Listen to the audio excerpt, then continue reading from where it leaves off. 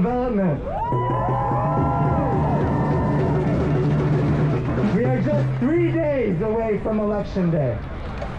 Three days before this deceitful spectacle they put on every four years to tell us that democracy is on the line. We call bullshit.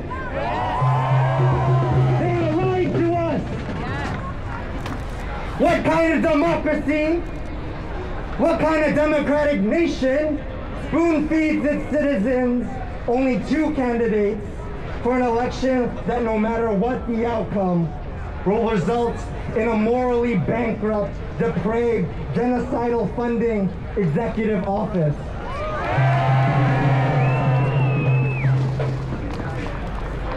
What democracy? The kind where they send more bombs, more warships, more planes to kill tens of thousands of Palestinian, Lebanese, and Yemeni children, women, men, and journalists who dare to resist the deadly occupation. As anti-imperialist Koreans, we stand here today to tell Trump and Harris, the two faces of the same ruling class, that we will not let any party get away with committing genocide of the Palestinian people.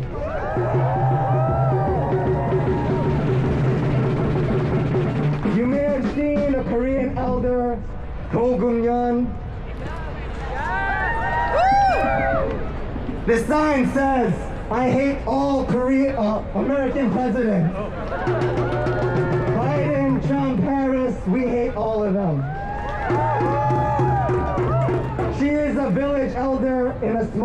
Farming village of Soseong-giri in Korea, where the U.S. deployed hundreds of troops and billion dollar missile systems called THAAD. The same missile systems the U.S. deployed to Israel.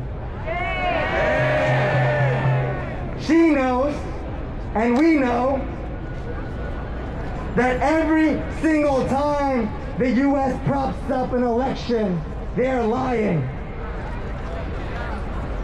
She knows, and we know, the Democrats and the Republicans, every president they put up is a deadly, bloodthirsty president to dominate every region in the world. So yeah, democracy is on the line. But it won't be decided on November 5th. Every hour, every day, how we act and what we will do to fight against U.S. imperialism is when we decide democracy. Palestinians have challenged the imperialist narrative that the U.S. is not a defender of democracy, but only a death merchant of people fighting for liberation, for their love of, la- of their land and people.